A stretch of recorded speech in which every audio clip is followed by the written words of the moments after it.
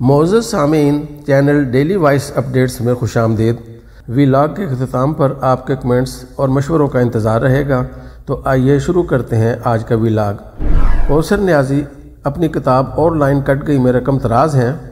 मैं पहली मरतबा वो हकाइक दुनिया के सामने लाने की कोशिश कर रहा हूँ, जिन पर अभी तक तह दर तह पर्दे पड़े हुए हैं। भुट्टो ने खुफिया जराए से डॉक्टर कदीर को इतला भिजवाई कि वो छुट्टी लेकर पाकिस्तान आए और उनसे मुलाकात करें।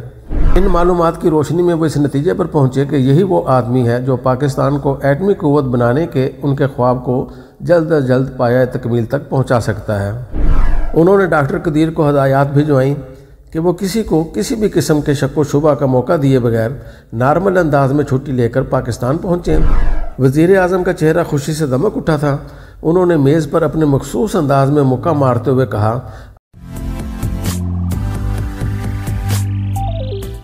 भुट्टो ने बताया, अमरीकी वज़ीर खारजा की तजवीज़ पर खामोश मज़ाक के लिए मैंने अपने वज़ीर खारजा अज़ीज़ अहमद को पेरिस भेजा।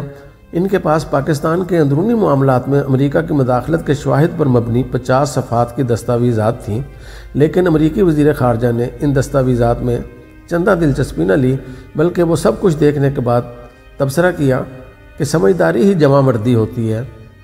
उन्होंने हमें माजी को भुलाकर ताल्लुक का नया बाब खोलने का दर्श दिया। और उस रात होटल के जिस कमरे में अज़ीज़ अहमद ठहरे हुए थे, उसके ताले तोड़कर कमरे की तलाशी ली गई। लेकिन वो पचास सफ़ात की दस्तावेज़ात उनके कमरे में नहीं, बल्कि पाकिस्तानी सफारत खाने की तहवील में थी। चुनाचे ताला तोड़ने वालों के हाथ कुछ भी ना आया। सफारती पैराग्राफ 109 में मिस्टर भुट्टो ने तहरीर किया है कि 5 जुलाई 1977 के कुछ ही अरसा बाद अज़ीज़ अहमद ने उन तमाम दस्तावेज़ात की एक कापी मिस्टर गुलाम इसा खां को इस दरख्वास्त के साथ दी थी कि इसका बगौर मुताल करें। अगर अदालत पसंद करे तो गुलाम साखा को अदालत में तलब करके उनसे पूछे कि पाकिस्तान के मामला में मुदाखलत के सिलसिले में इन कागजात में क्या कुछ मौजूद है।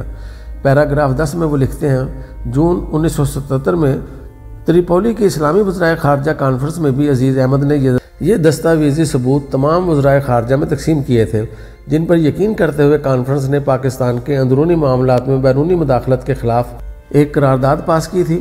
पाकिस्तान के अंदरूनी मामला में मिस्टर भुट्टो का इस दर्जा इसरार, बेवजह और बेसबूत हरगिज न था। लेकिन अमरीका हो या कोई और मुल्क, वो हालात पैदा नहीं कर सकता। हालात हम खुद पैदा करते हैं। अमरीका तो उन्हें इस्तेमाल करता है। इनसे फ़ायदा उठाता है। सो, अमरीका ने मार्च के इंतबात के बाद पैदा होने वाली सूरत हाल से बखूबी फ़ायदा उठाया। इसमें कोई शक नहीं कि अमरीका मिस्टर भुट्टो और उनकी हुकूमत का दुश्मन था। और इस दुश्मनी का आगाज़ उस वक्त हुआ जब अमेरिका में कार्नर ब मुकाबला फोर्ड इंतबात के दौरान मिस्टर भुट्टो ने अमरीकी सफ़ीर को बुलाकर यह कहा कि वो अमेरिका के इंतबात में जिराल्ड फोर्ड की कामयाबी के लिए दुआ गो हैं। और इस सिलसिले में सरकारी सतह पर भी ऐसे बयान देंगे जो अमरीकी राय आमा पर फोर्ड के हक में असरात मुरतब कर सकें। उन दिनों जॉर्ज वेस्ट पाकिस्तान में अमरीका के सफ़ीर थे। बाद अजा मिस्टर भुट्टो ने इस किस्म के बयान जारी किए कि अमेरिका के पाकिस्तान ऐसे इतिहादी रिपब्लिकन पार्टी और सदर फोर्ड की वाइट हाउस में मौजूदगी की वजह से काफ़ी इतमान महसूस करते हैं। और अगर खुदा न खास्ता सदर फोर्ड इंतखब हार गए तो इससे ख़त्े में अदम इतमान की कैफियत पैदा होगी और अमरीका का आलमी वकार मजरू होगा। अमरीकी इंतबात में मिस्टर भुट्टो की तो के बरक्स जिमी कार्टर कामयाब हो गए। डेमोक्रेटिक पार्टी, रवायती भारत नवाज़ पॉलिसियों पर कारबंद रहने के साथ साथ वो मिस्टर भुट्टो के बयान की वजह से उनसे ज़ाती पुरखाश भी रखते थे।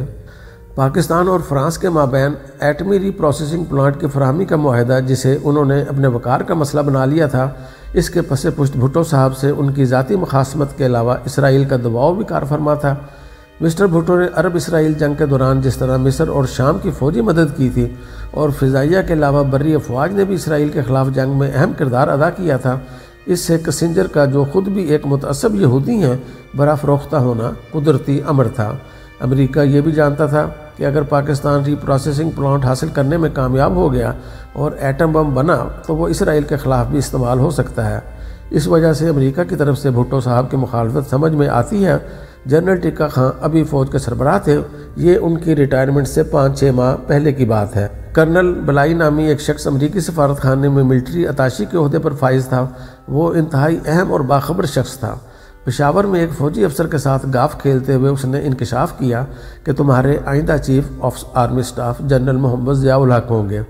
उस वक्त इस अहदे के लिए तीन नाम सर फहरिस्त थे और सर्विसेज़ के लोग इन्हीं का ज़िक्र करते थे। ये तीन नाम जनरल शरीफ, जनरल मजीद मलक और जनरल इज़्ज़त बख्श आवान के थे। जनरल ज़ियाउल हक का नाम किसी के सानो गुमान में भी न था। चुनाचे जब कर्नल बलाई ने इस फौजी अफसर के सामने, जिसका ताल्लुक पाक फ़जाइया से था, जनरल ज़ियाउल हक का ज़िक्र किया तो लामहला उसे बेहद ताजुब हुआ। उसने एयर मार्शल जुल्फ़ार अली खां को यह बात बता दी, लेकिन वो हंस कर टाल गए और इसे कोई ख़ास अहमियत न दी। छः माह बाद वही नाम जो कर्नल बलाई ने बताया था, पाकिस्तान आर्मी के चीफ ऑफ़ स्टाफ के तौर पर सारी दुनिया के सामने आया और जनरल ज़ियाउल हक अपने से कई सीनियर जनरलों को सुपरसीड करके पाकिस्तानी फ़ौज के सरबराह बन गए। कर्नल बलाई जनरल ज़ियाउल हक के दौरे हुकूमत ही में अपनी मुलाजमत से रिटायर हुआ और बाद हज़ार उन्नीस में जब वो पाकिस्तान के निजी दौरे पर आया तो सदर ज़ियाउल हक ने ईवान सदर में उसकी ज़ियाफ़त की। 21 मई 1977 को जब एक तरफ़ पीएनए और हुकूमत के दरमियान मज़ाक के लिए ग्राउंड बन रही थी और दूसरी जानब भुट्टो हुकूमत के ख़िलाफ़ पीएनए की तहरीक भी ज़ोरों पर थी। अमेरिका के एक सबक सफ़ीर जोसफ फारलैंड अचानक पाकिस्तान के दौरे पर पहुँचे। ये साहिब मशरक़ी पाकिस्तान के बांग्लादेश बनने के तकलीफ़ दे मराहल में भी सोलह सत्रह रोज़ ढाका और कराची वगैरह में नज़र आए थे। इनके बारे में हुकूमत के पास मुसदका इतलात थी कि ये सी आई ए के बहुत अहम अहदेदार हैं।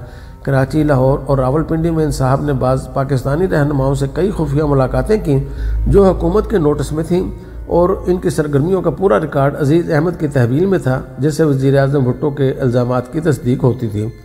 24 मई को जब अमेरिका ने पाकिस्तान में अपने सफ़ीर का तबादला कर दिया तो सबक दोष होने वाले सफ़ीर के एजाज़ में चीफ़ ऑफ़ आर्मी स्टाफ ने आर्मी हाउस में एक ज़ियाफ़त दी, जिसके लिए उन्होंने ना तो वजारत खारजा से इजाज़त ली थी और ना ही वज़ी अजम से। कम अज़ कम मिस्टर भुट्टो ने हमें यही बताया था।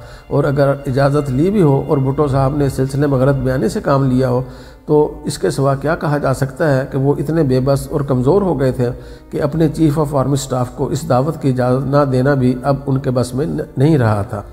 मुझे इस दावत की सही तारीख तो याद नहीं, अलबत्त इतना याद है कि यह सिविल हुकूमत का तख्ता उल्टने से मुतसिल ही किसी तारीख में मुनद हुई थी। गालबन उन दोनों पी एन ए से हमारे मुजाकर जारी थे और मुझे याद है कि इजलास से वापस जाते हुए मैंने आर्मी हाउस को बुकानूर बने खुद देखा था। इन तमाम अमूर के पेश नज़र ये बात साफ़ थी कि अमरीका हर कीमत पर इन हालात से फ़ायदा उठाने के मूड में था, जो बदकिस्मती से अंदरून मुल्क वज़ीर अजम भुटो के ख़िलाफ़ पैदा हो चुके थे। एक तरफ़ जहाँ उसके रवाबित बाद सियासी रहनुमाओं के साथ थे, वहाँ दूसरी तरफ़ पाकिस्तानी फ़ौज के आला अफसरान में भी उसका हल्का असर मौजूद था। ये अमर आज एक अजीम अलमिया नज़र आता है कि जिस भुट्टो की हुकूमत के खात्मा के लिए अमरीका ने हर तरफ़ एक जाल बिछाया था, उसी भुट्टो की बेटी लीबिया पर अमरीकी जारहीत के ख़िलाफ़ एक हरफ मजम्मत भी कहना पसंद नहीं करती, बल्कि पाकिस्तान वापसी से पहले अमरीका की आशीर्वाद लेने वाशिंगटन और न्यूयॉर्क के चक्कर काटती है। एक ऐसी सूरत हाल में अमेरिका को अपना दोस्त समझती और दूसरों को बावर कराती है कि जब वाशिंगटन पोस्ट में इससे मुतलक ऐसा मजमून शाये हो रहा हो कि अमेरिका ने पहली मरतबा एक मकबूल अवामी लीडर को गैर मकबूल बनाने का तजर्बा किया है, जो सौ फ़ीसद कामयाब रहा है। रीप्रोसेसिंग प्लांट की खरीदारी की आड़ में भुट्टो ने क्या गेम खेली, जानिए पसे पर्दा हकाइक। पाकिस्तान के अंदरूनी मामला में मुदाखलत करने और वज़ीर अजम भुट्टो को बैरूनी दुनिया के सामने इसराइल के इशारे पर दूसरा हिटलर और उन्हें आलमी अमन के लिए ख़तरा साबित करने के लिए अमेरिका ने जिस चीज़ का सबसे ज़्यादा सहारा लिया, वो फ्रांस के साथ मिस्टर भुट्टो का एटमी रिप्रोसेसिंग प्लांट की फरहमी का माहदा था। इस मसले पर अब तक हकायक बहुत कम ज़ाहिर हुए हैं और अफसाना तराजी ज़्यादा की गई है। इस सिलसिले में जज्बाती नारेबाजी ने भी बहुत काम दिखाया और वज़ीर अजम भुट्टो के दाना दुश्मनों समेत नादान दोस्तों ने भी इस मामले में उनके हकीकी कारनामे को नारों के गर्दो गुबार में छुपाने की हर मुमकिन सही की है। मैं इस बाब में पहली मरतबा वो हकायक दुनिया के सामने लाने की कोशिश कर रहा हूँ, जिन पर अभी तक तह दर तह पर्दे पड़े हुए हैं। भुट्टो जो भी थे, जैसे भी थे, लेकिन पाकिस्तान को एक आलमी ताकत बनाने और बैन अवी बरदरी में उसे नुमाया तरीन मुकाम दिलाने के शौक़ में जुनून की हद तक मुबतला थे और पाकिस्तान को एटमी क़वत बनाने का उनका जुनून और ख्वाब तो बहुत कदीम था। उन्होंने उन्नीस सौ पैंसठ में जब वो अयूब काबीना में वज़ीर खारजा थे नहायत जज्बाती अंदाज में कहा था, अगर भारत ने एटम बम बनाया तो चाहे हमें घास और पत्ते खाना पड़े, या हम भूखे रहें, लेकिन हम भी एटम बम बना कर रहेंगे। क्योंकि हमारे पास उसका कोई मुतबादल तो होगा। एटम बम का जवाब, एटम बम भी हो सकता है। 18 मई 1974 को बिलाखिर भारत ने पहला बाकायदा एटमी धमाका किया और पाकिस्तान के अवाम की अक्सरियत पर इसके जो असरात मुरतब हुए वज़ी अजम भुट्टो के लिए बजाय खुद एक चैलेंज की हैसियत रखते थे। लोग लामहला मिस्टर भुट्टो की तरफ़ से किसी जवाबी इकदाम के मुंतजर थे, लेकिन वज़ी अजम भुट्टो की मजबूरी ये थी कि वो इस ज़मन में जो कुछ कर चुके थे और जो कुछ करने वाले थे, उसे गुना गुन आलमी तनाज़ात के सबब ज़ाहिर करने से कासिर थे। फिर भी उन्होंने अपनी बेशतर तकारीर और बयान के ज़रिए न सिर्फ़ अंदरून मुल्क अवाम का मोराल बुलंद रखा और मुझे वज़ी इतलात और नशरियात के अलावा पार्टी का सेक्रटरी इतलात होने की हैसियत में खसूस इकदाम के लिए हदायत दी बल्कि कौमी असम्बली में भी बरमला भारत के एटमी धमाके पर शदीद रद्द अमल का इजहार किया और वाज तौर पर यह धमकी दे दी कि अब हमें भी इस इकदाम से बाज नहीं रखा जा सकेगा। मुझे उन्होंने आलमी सतह पर भारत के ख़िलाफ़ प्रोपागेंडा, साइंटिफिक बुनियादों पर चलाने की हदायत की और ख़ुद खामोशी के साथ उस मजाकती मुहिम में लगे रहे, जो उन्होंने फ्रांस की एस जी एम नामी फर्म के साथ उन्नीस सौ तिहत्तर में शुरू की थी। जिसके तहत ये फर्म पाकिस्तान को रीप्रोसेसिंग प्लांट की फरहमी की शराइ तय कर रही थी। वज़ी अजम भुटो खारजा अमूर पर जितनी गहरी नज़र रखते थे, इसके पेश नज़र ये तस्वुर ही नहीं किया जा सकता कि वो भारत के मतवक़, एटमी धमाके से बेखबर थे। उनके पास इस सिलसिले में तमाम ताज़ा तरीन इतलात थी और वो ये भी जानते थे कि भारत ने किस तरीके कार के ज़रिए और कितना सरमाया खर्च करके ये कामयाबी हासिल की है। ताहम उन्होंने भारत के एटमी धमाके के बाद बाद नुमाया पाकिस्तानी साइंसदानों की अच्छी खासी गोशमाली की थी, जो ये दावा करते थे कि भारत की तरह का एटमी धमाका करना हमारे लिए बच्चों का खेल है। फ्रांसीसी फर्म के साथ माहे में फ्रांसीसी हुकूमत बाकायदा फरीक की हैसियत से शरीक थी और तीन साल तक जो मज़ाक होते रहे, इनमें वज़ीर अजम ने फ्रांसीसी हुकूमत समेत अपने तहफ़ात के आलमी इदारे को भी हर किस्म की ज़मानतें और यकीन दहानियाँ फ्राहम कर दी। उनकी तमाम शराइ मिनोअन तस्लीम कर ली थी। उन्होंने यकीन दिलाया था कि पाकिस्तान को दिया जाने वाला रीप्रोसेसिंग प्लांट सिर्फ़ सनती मकासद के लिए तोानाई के हसूल तक महदूद रहेगा। लेकिन सारी यकीन दहानियाँ कराने के बाद मिस्टर भुट्टो ने जो अपना कार्ड खेला, वो ये था कि माहे में कोई एक भी ऐसी शिक मौजूद ना थी जिसके ज़रिए पाकिस्तान इस अमर का पाबंद होता कि खुद अपने ज़राए से अपने साइंसदानों के ज़रिए वो वैसा ही दूसरा प्लांट ना लगा सकेगा, जिसकी फ्राहमी फ्रांस से होना थी, या ये कि वो दूसरा प्लांट पाकिस्तान किसी आलमी इदारे की निगरानी में देने का पाबंद होगा। बैन अवी तहफ़ात के ज़िम्न में वज़ी अजम इस हद तक चले गए थे कि तस्लीम करदा पाबंदियों को मद्दनज़र रखते हुए इसका तस्वर भी महाल था कि पाकिस्तान रीप्रोसेसिंग प्लांट से जोहरी बम बना सकेगा। रही प्रोसेसिंग प्लांट की ख़रीदारी का आइडिया मिस्टर भुट्टो के जहन में उनके साइंसी उमीर के मुशीर डॉक्टर अब्दुलसलाम और एटमी तोानाई कमीशन के चेयरमैन मिस्टर मुनीर अहमद खान ने डाला था। किसी भी मामले की तमाम तर जुजियात पर नज़र रखने वाले भुट्टो न्यूक्लियर टेक्नोलॉजी के बाब में मुकम्मल मालूम और अंदरून व बैरून मुल्क दूसरे बेशुमार मसाइल में फंसे होने के सबब इस प्रोजेक्ट के तमाम पहलुओं का खुद जायज़ा ना ले सके और ये सारा काम पाकिस्तान साइंस फाउंडेशन और एटॉमिक एनर्जी कमीशन के ज़िम्मे डालकर खुद इस मसले के सियासी और माशी पहलुओं में उलझ गए। सबसे बड़ी बात तो 300 मिलियन डॉलर के इस मनसूबे के लिए सरमाए के हसूल का सवाल था, जिसके लिए उन्होंने आलम इस्लाम खसूस खलीजी रियासतों और तेल की दौलत से माला माल अरब ममालिक से रजू किया, जहाँ से उन्हें मुस्बत यकीन दहानियाँ हासिल हुई। खसूस लिबिया, सऊदी अरब मुतहदा अरब अमारात, कवैत और इराक़ की जानब से उन्हें हर किस्म के माली ताउन की पेशकश हुई। अरब इसराइल जंग के दौरान पाकिस्तानी अफवाज के हाथों इसराइली फ़ौज के दांत खट्टे करके वो अरब दुनिया में बेपना वकार पहले ही हासिल कर चुके थे। और अरब सरबराहों को इस अमर में ज़रा भी शक न था कि पाकिस्तान का एटम बम इसराइल के मुकाबले खुद उनके तहफ़ की बहुत बड़ी ज़मानत होगा। इधर खुद मिस्टर भुट्टो अपनी ज़बान से इस मामले पर एक लफ्ज़ भी किसी को बताने पर आमादा न थे, बल्कि मुल्क भर में गिनती के चंद लोग उनके असल प्रोग्राम से आगाह थे, जब अरकान असम्बली, बाज़ वज़रा और आला हुकाम के सिलसिले में तशवीश को उन्होंने हद से गुजरते देखा तो आखिर एक रोज़ उन्होंने एतमाद में लिया और एक मीटिंग में नहायत मानी खेज अंदाज में कहा हमें इस टेक्नोलॉजी को हर कीमत पर हासिल करना है। बैन अवी तहफ़ात सिर्फ़ इस एक प्लाट तक महदूद होंगे। मैं नहीं समझता कि हमारे साइंसदान और हुनरमंद इतने नाहल होंगे कि एक टेक्नोलॉजी को देखने और समझने के बावजूद खुद अपनी सलाहियतों को बुरुए कार लाकर वैसा ही दूसरा प्लांट तैयार ना कर सकें, जिस पर हम किसी भी किस्म के बैन अवी तहफ़ात कबूल करने के पाबंद ना होंगे। वज़ी अजम जानते थे कि उनका प्रोग्राम तवील और सब्र आजमा है। लेकिन उन्हें इसका भी यकीन था कि आखिरकार वो अरब दोस्तों के ताउन से अपने ख्वाब को शर्मिंदा ताबीर होते देख सकेंगे। इस ज़मीन में शाह फैसल मरहूम के पास गुफ्त शनीद के लिए सिर्फ़ मुझे ही उन्होंने कमो बेश चार मरतबा भेजा था, जबकि दूसरे ममालिक के साथ आगा शाही, अज़ीज़ अहमद ए जी एन काजी, गुलाम साख खां, मुनीर अहमद और न जाने कितने लोग इस सिलसिले में उनकी बहुत सी ऐसी हदायत पर अमल कर रहे थे, जिनके मकासद से शायद वो खुद भी कम ही आगाह थे। लेकिन जब उन्नीस सौ चौहत्तर में भारत ने राजस्थान में एटमी धमाका किया तो अचानक सारी सूरत हाल ही बदल गई। एक बहुत बड़ी और इनकलाबी तब्दीली जुलाई 1973 या शायद जून में ये आई कि वज़ीर अजम को हॉलैंड से एक ख़त मौसू हुआ, जिसमें मेटलर्जी में डॉक्टरेट की डिग्री हासिल करने वाले एक मुहब वतन पाकिस्तानी डॉक्टर अब्दुल कदीर खान ने उन्हें आगाह किया था कि वो फिलजियात के माहिर और ला लातादाद तहकीकी मजामी के मुसनफ़ होने के अलावा एक आलमी शहरत याफ्ता किताब के भी मुसनफ़ हैं। लेकिन कराची स्टील मिल के नाअहल एहलकार उनकी खदमात से इस्ता नहीं कर रहे और उन्होंने उनकी किसी पेशकश का कोई मौजू जवाब नहीं दिया। उन्होंने ये भी बताया कि वो यूरेनियम की अफजूदगी ऐसे पेचीदा और मुश्किल तरीन काम में भी महारत रखते हैं और आजकल हालैंड में अलमेबलोकन मुकाम पर यूनिनको नामी प्रोजेक्ट पर एफ़ डी ओ के तहत काम कर रहे हैं।